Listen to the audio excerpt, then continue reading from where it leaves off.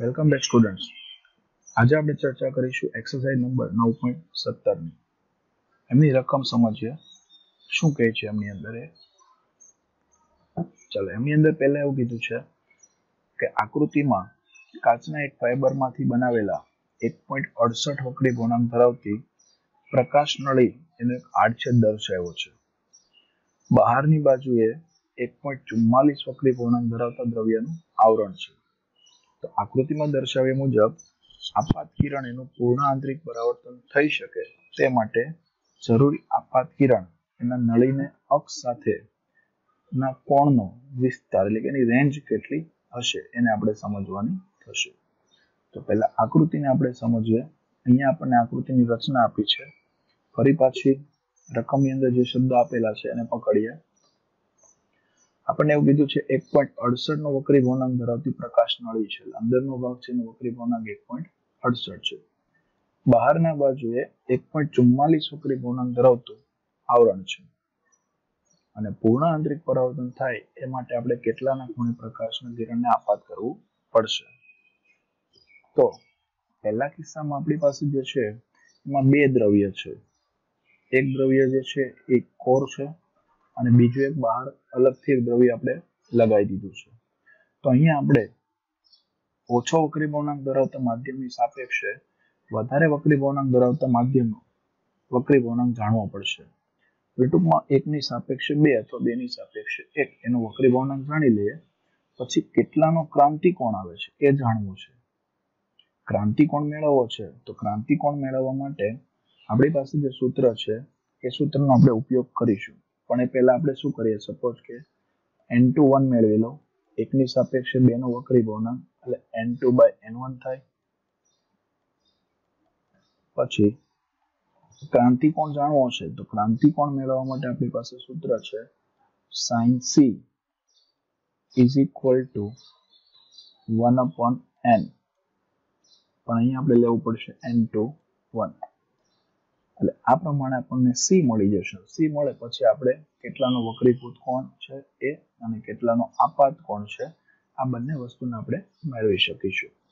ચાલો step by step જોઈએ અને n two one n two વનની વેલ્યુ મેળવી લીધી આપણે અહીંયા.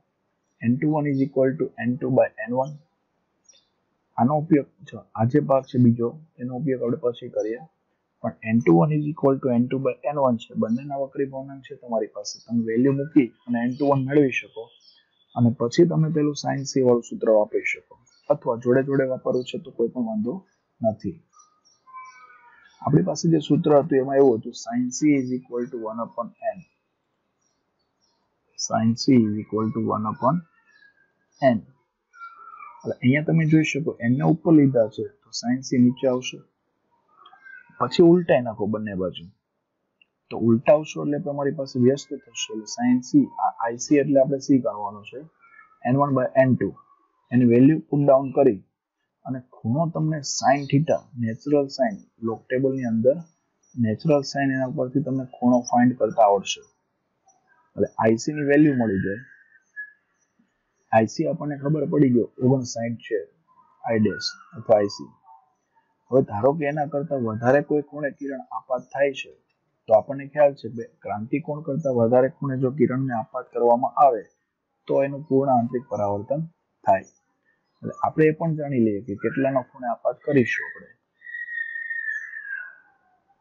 ચલો કન્ડિશન મૂકી દીધી છે આપણે, કે જો ઓગણસાઠ કરતા વધારે ખૂણે કિરણને આપાત કરીએ આપણે, તો એનું પૂર્ણ આંતરિક પરાવર્તન થાય. બરાબર? નેવું માંથી આપણે ઓગણસાઠ ને બાદ કરી દઈએ. કેમ બાદ કરી દીધા? તો તમે આકૃતિની ભૂમિતિને જુઓ. આકૃતિમાં અહીંયા તમને ત્રિકોણ દેખાય છે. આ જે ત્રિકોણની રચના છે, એ ત્રિકોણની અંદર ઉપરનો ખૂણો, આ ખૂણો આપણને ખબર પડી ગઈ છે. આ ખૂણો આપણને ખ્યાલ છે નાઇન્ટી ડિગ્રી છે. તો આપણને આર મળી જશે. બરાબર? તો આર કેટલો હશે? તો કે નાઇન્ટી માંથી તમે આઈ ને બાદ કરી નાખશો આઈ ડેશ એટલે તમને આર મળશે. તો આરની વેલ્યુ કેટલી? એકત્રીસ. જો આર મેક્સિમમ આપણને એકત્રીસ મળતો હોય, તો તમે આપાત કોણ પણ જાણી શકો, સ્નેલનો નિયમ લગાડીને. બરાબર ને?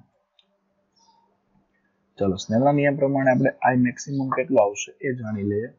તો n one sine theta one is equal to two sine theta two પ્રમાણે ચાલીએ. પણ એન વન એટલે હવાનું માધ્યમ છે. એટલે આપણે અહીંયાનો કોઈ ઉલ્લેખ કરેલો નથી. અંદરનો આપણને સાપેક્ષ વક્રી ભવનાંક ગણતરી કરી હતી ત્યારે એક પોઈન્ટ અડસઠ મળતો હતો, જેનો આપણે ઉપયોગ કરેલો છે. સોરી સાપેક્ષ વક્રી ભવનાંક નહીં, પણ અહીંયા છે ને અંદરનું, કારણ કે વક્રી ભવનાંક અહીંયાથી થાય છે. અહીંયા જો ચર્ચા હોત તો ઉપરના ભાગ પાસે અહીંયા કોઈ જગ્યાએ. તો આપણે પેલું સાપેક્ષ એન ટુ નો ઉપયોગ કરતે બરાબર? તો એમાંથી સાઇન આઈ આઈને આપણે કરતા બનાવીએ. સાઇન આઈ મેક્સિમમ ને કરતા બનેલો છેદમાંથી આ પદ ઉપર જશે. આ બેનો ગુણાકાર કરીએ તો ગુણાકાર કરતા આર મેક્સિમમ જે છે, એની વેલ્યુ આપણને ખબર હતી એકત્રીસ. એ મૂકી અને એની ગણતરી કરતા ફાઇનલી આપણને જે આઈ મેક્સિમમ મળે છે, એ આઈ મેક્સિમમનું મૂલ્ય આપણને સાહીઠ મળે છે. એટલે આપણો આપાત પણ જે મળે છે, એ સાહીઠ ડિગ્રીનો હોવો જોઈએ. તો એનું પૂર્ણ આંતરિક પરાવર્તન થશે. એટલે એની રેન્જ થઈ જશે તમારી પાસે હવે, ધારી લો કે એમ કહે છે, ઉપરના ભાગમાં કોઈ આવરણ ન હોય, તો શું? તો ફરક કઈ નથી પડવાનો. આપણે જે સૂત્ર ઉપયોગ કરતા હતા, બરાબર, એ જ સૂત્ર લેવાનું છે, પણ આ વખતે તમે ડાયરેક્ટ સી ને મેળવી શકશો. Sine c is equal to one upon n અહીં એક જ માધ્યમ છે. પહેલામાં એન ટુ વન લીધું તો બે માધ્યમ હતા. અહીંયા એક જ માધ્યમ છે, એટલે માત્ર આપણે એન નો ઉપયોગ કરી અને કામ કરી શકીએ. તો આના ઉપરથી સી મેળવી લો. સી મળી જાય એટલે આર મળી જશે અને આર મળી જાય એટલે આઈ મળી જશે. આગળના દાખલા પ્રમાણે જવાનું છે સ્ટેપ બાય સ્ટેપ ચાલો, આના પરથી તમે જોઈ શકો છો અહીંયા. પહેલા આપણે સાઇન સી નો ઉપયોગ કરીએ છીએ અને એના ઉપરથી આપણને આઈસી મળી ગયો છત્રીસ પોઈન્ટ પાંચ. નેવું માંથી એને બાદ કરી દે છત્રીસ પોઈન્ટ પાંચ અને નેવું માંથી બાદ કરશું આપણે. તો બાકીની જે વેલ્યુ છે એની ત્રેપન પોઈન્ટ પાંચ વળી આપણને પ્રાપ્ત થઈ જશે. બરાબર, અને એના પરથી તમે ધારો તો તમે આઈ પણ મેળવી શકો. પણ અહીંયા તમને રેન્જ મળી ગઈ છે ત્રેપન પોઈન્ટ પાંચ greater than sorry less than I less than ninety degree એટલે આઈની જે વેલ્યુ છે, એ ત્રેપન પોઈન્ટ પાંચ કરતા વધારે અને નેવું કરતા ઓછી હોવી જોઈએ. ચાલો જાણી લઈએ કેટલી હોય.